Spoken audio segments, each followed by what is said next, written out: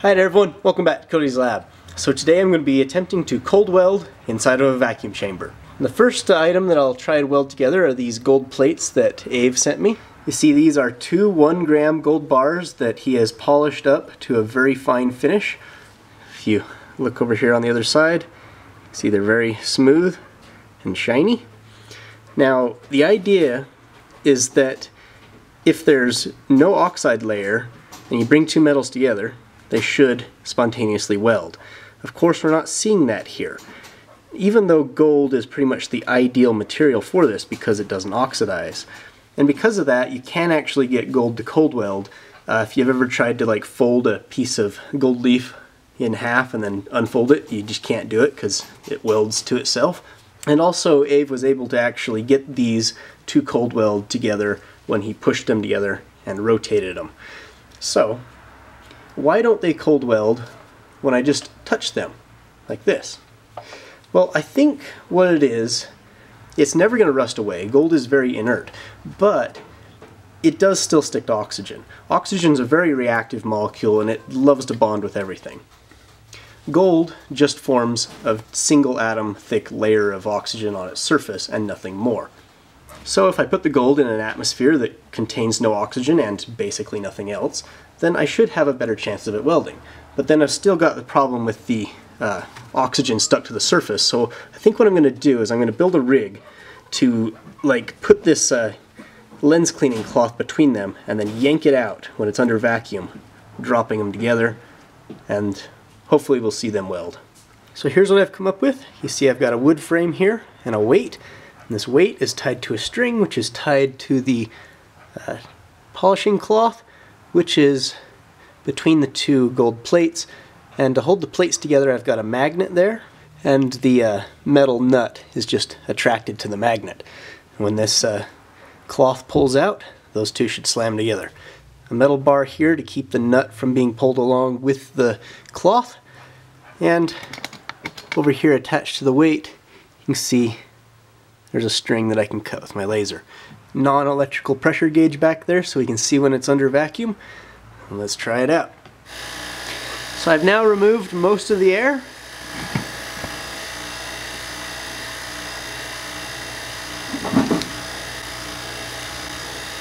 that pulled free. The gold pieces are in contact. Okay, time to see if the gold's actually welded or not. Let's just pull the whole thing out so we can have a look at it. Okay. Time to see if this is welded. Judging by how it moved there, I'd say it's not. So I'm trying again, but this time I've set up AvE's nut rattler rig here to vibrate a stainless steel bolt and nut at the same time. Also I've got a bull of desiccant back there and I'm going to be putting some liquid nitrogen right here up front. The nitrogen of course will evaporate and boil off under the vacuum but it'll also displace the oxygen while it does it so there'll be even less oxygen in here than before. And uh, this thing's actually pretty neat. It will, I turn it on, it vibrates and it'll turn off, let everything settle and it'll start vibrating again. Just like that. Now, this battery here, initially I was afraid that the electrolyte might uh, boil under vacuum and leak out and you know, the battery will cease to function, but I've determined that it is sealed well enough and it will do just fine in the vacuum environment. Let's put the liquid nitrogen in.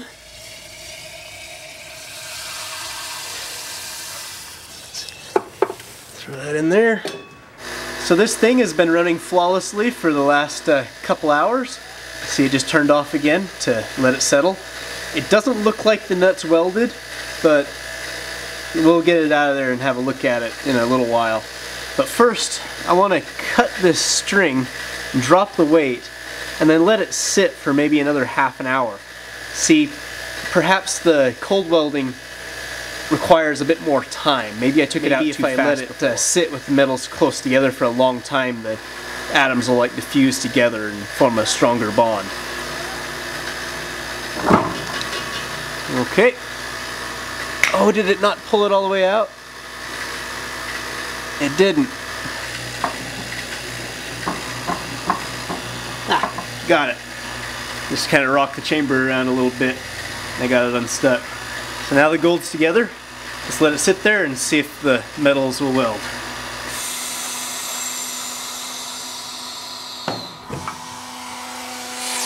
Thing's still running.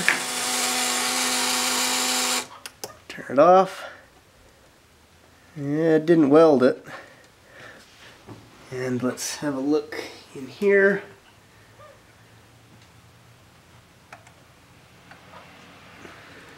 Well, it might be welded in. Let's uh, pull this all out and have a look.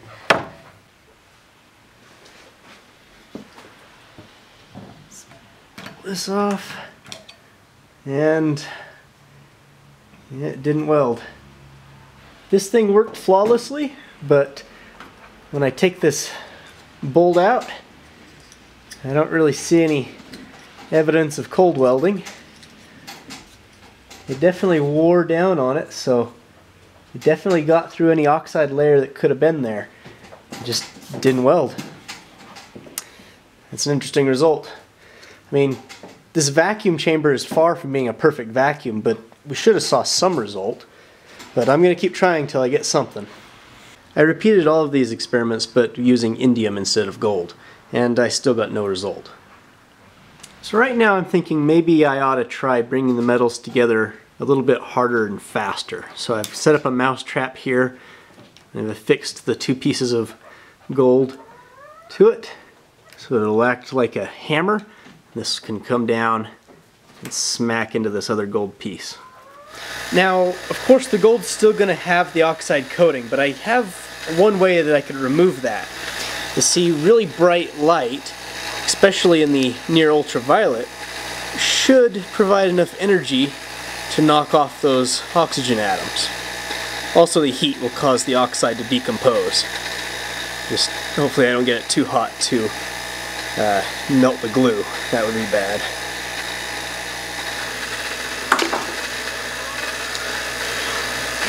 Uh, that uh, flew all over the place. Uh,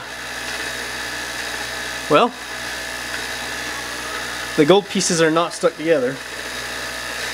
So I didn't see any evidence of cold welding on these pieces of gold. Perhaps I wasn't able to remove the oxide layer. Perhaps uh, cold welding is a lot more difficult than I thought it would be. But uh, my next test is going to be right here. Inside this test tube I've got a little bit of microscopically fine gold powder. And as you can see I've put this uh, vibrator onto the test tube so hopefully it'll shake it around. I'm going to test this under vacuum and see if these uh, tiny microscopic gold particles are able to weld together. Perhaps I'll produce a large gold nugget this way. I also set it up so that I can put these pieces of gold up on here so they can vibrate against each other. And perhaps they'll eventually weld together this way. So let's uh, turn on the vacuum once again. Turn this thing on. We'll see if it works. It's going to be rather hard to tell whether or not these gold particles actually weld together. So you know what? I'm going to take a little piece of gold off of this gold bar here. I'm going to drop this in the test tube and uh, I'll look at that to see if any gold particles stick to it.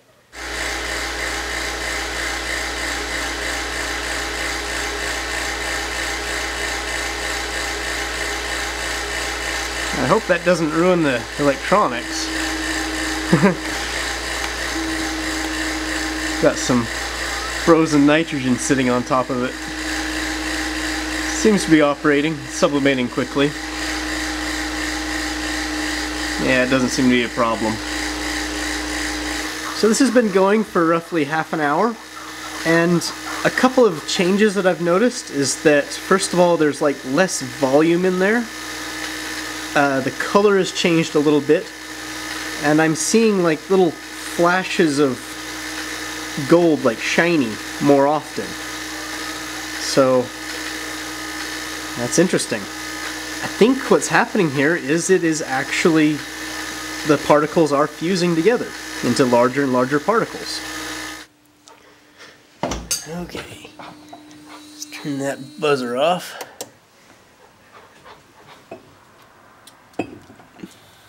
So these two gold plates Yeah, they haven't welded together or anything.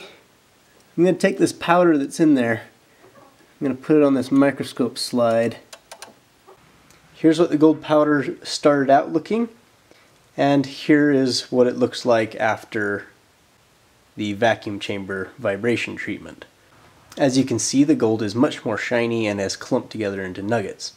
So if we go look at the large gold flake that I put in there, you can see that on some places that might actually have some more gold stuck to it. So I think this is actually cold welded. The problem is, is that I'm pretty sure gold would have done this in an atmosphere. So let's try a different, more reactive metal, and let's also uh, fire up the Sprengel pump and try it in a higher vacuum environment. So I've got the Sprengel pump working again. And with this thing I can pump the atmosphere down to roughly one millionth of atmospheric pressure, which is roughly a hundred times less atmosphere than the other vacuum pump can do. So let's try this out. I've got some copper powder inside the vacuum, and I've also over here got some copper powder exposed to the air. I'm going to vibrate them for a little while, possibly several hours, and we're going to see if the one in the vacuum welds before this does. So I started this thing running at about 2 o'clock, and as you can see it's 7.44 now, so it's been running for most of the day, but the results are pretty encouraging. You see when you look in here, the two samples are very different colors. This is the atmosphere one, and this is in the vacuum. And it looks like the vacuum one has got the copper in chunks as if it's welded together. So I say let's break this tube off and go put this under a microscope and see just what it's done. So here are the three copper powders. This is the stuff that is unchanged. This is the stuff that vibrated in atmosphere. And this is the stuff that was vibrated in vacuum. Uh, these pieces of copper there were just like a, a rattling ball to help agitate the mixture. You know, same thing I did with the gold. So here's the original copper powder. This is electrolytic copper and it is rather oxidized as you can see. It's kind of a dark red color from the copper oxide that's on its surface. Okay, let's go over to the copper that got shaken around inside the atmosphere. It looks pretty much the same besides the fact that the pieces are just ground up finer. You know, maybe some of them have been polished. There's still quite a lot of oxides here. So coming over to the stuff that was in the vacuum, you can see there's a definite difference here. They're much more shiny and the pieces are like, well that's, that's a pretty large chunk of copper right there. Let's uh, continue moving over. you can see this almost looks like copper nuggets. Look at that. They're shinier. Big old clumps of copper. So this is the little piece of copper wire that I put in there as like a rattler ball. And look at it. It's got little bits of copper all stuck to it. It's like actually bigger than it was when I put it in. If you look at the edges of it, you can see there's bits of copper stuck. That's awesome. So here's the piece of copper that was in the atmospheric chamber.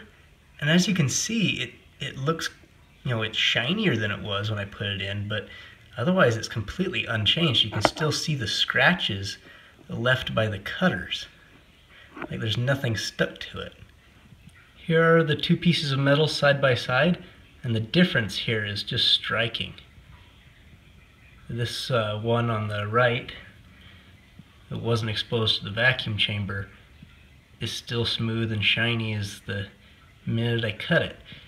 But this one over here on the left has got all kinds of bits of copper crud stuck to it so you don't even see the original surface anymore. So that's not quite the spectacular welding result that I was looking for, but it is a result. I did get metals to weld together inside of a vacuum chamber. And I was able to weld metals together that were not super unreactive. Copper. So what appears to have been going on is that the copper, uh, normally, if you scrubbed off the oxide layer, it would reform almost immediately. But in the vacuum chamber, that didn't happen, and so it had time to then go and hit another particle and fuse with it, which is kind of cool. Still, my work on this video has raised more questions than it has answers. Like, back to indium, for example, why is it that I can put the indium block on top of the other, rotate it under its own weight, and get it to weld? And yet, I can take them and smack them together as hard as I like, and they'll never fuse. It's so weird. And like, even in a vacuum chamber, that didn't work. So, at, this point, I'm thinking that maybe like, uh, in order to get them to actually weld, you have to deform the crystal structure of the metal. Say this is one metal crystal and this is another. If they come in like this, they're not going to fuse. But if you squish them together, then they'll fuse. Which explains why the bolt didn't weld to the nut. There just simply wasn't enough force on it. If I was to put torque on it and put a lot of pressure behind it, then it would absolutely weld, which has been shown even in Earth's atmosphere. So there you go. That's just what I'm thinking at this point, but could be wrong. Probably almost certainly am. But the welding of these blocks does have some similarities to how gauge blocks stick together. I don't think these are welding, but it does look like a similar process is going on, at least maybe initially. So I do want to revisit this project at some point, but maybe I'll do a few other videos first. So a couple of things that I know you guys are going to mention. Uh, first of all is the mercury vapor in the Sprengel pump because the, the atmosphere that's left in the tube after it evacuates the air is essentially completely mercury vapor but of course about a millionth of normal atmospheric pressure, so there's, there's not a lot of mercury there, but copper, especially a copper powder, will absorb mercury. Um, maybe, and it's possible that the mercury getting onto the copper like aided in the sticking of the metals, but still a mercury copper alloy, especially if the mercury content is very low, is still solid, it's still a metal, so I'm still counting it but I'd love to test this without the mercury vapor. And uh, second is that when I burn the string with the laser, I'm, I'm not really burning the string. The, the laser does get plenty hot to burn the string, but by the time the string gets hot enough to melt, it breaks because there's, there's force on it. So I, I, didn't think that'd be a major contaminant for the chamber, considering the chamber's you know, six gallons and the string is very tiny. If you guys haven't already, I definitely recommend going and checking out Dave's channel. He's super smart and also hilarious. Gentlemen, welcome back to the shop. We are firing on all cylinders today. While this thing chooches, we're going to go in the room formerly known as the wife sewing, and we're going to mess around with cold welding gold. Him and I get along pretty well. We may do more collab type videos in the future. I'll put a link down in the description for his uh, channel so you guys can go check him out. So, hope you all enjoyed. I'll see you next time.